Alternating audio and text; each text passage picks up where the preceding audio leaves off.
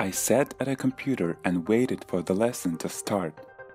I turned it on beforehand because I didn't want to miss the fun that was about to start.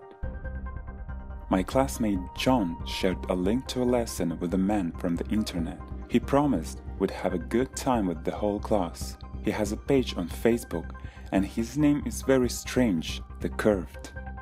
The lesson began. Our class teacher told us something about the revolution in France, and John was sitting there and giggling. Something was about to start. Then I saw John change expression.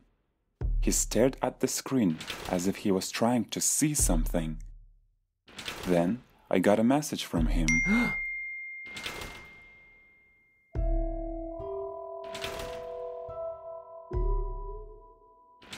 Can you see that too? Look, the Lisa screen, behind her back. I looked at the screen where Lisa was.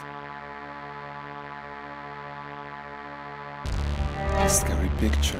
There was the curve behind her back. It was someone's creepy crooked figure, but it seemed like no one but me and John saw it.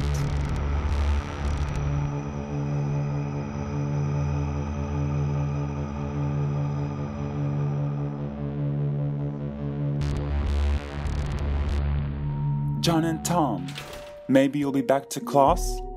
Put away your phones.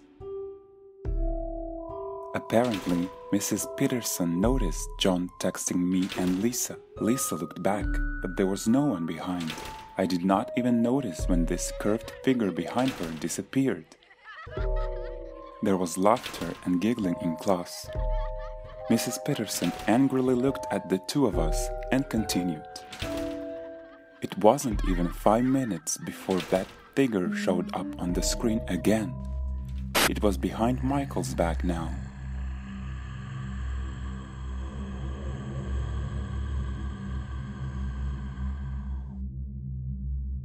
John sat with his eyes wide open and looked at the whole thing too.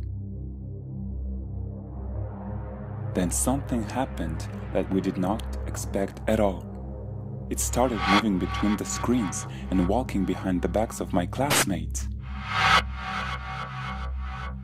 I did not hear what Mrs. Peterson was saying at all. Neither did John, I guess. We were watching a figure that was moving from screen to screen with a curved, vile gait. No one saw it but us.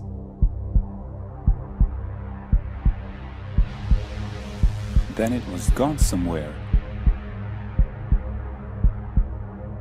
Unnoticeably, I texted John saying the figure had gone somewhere.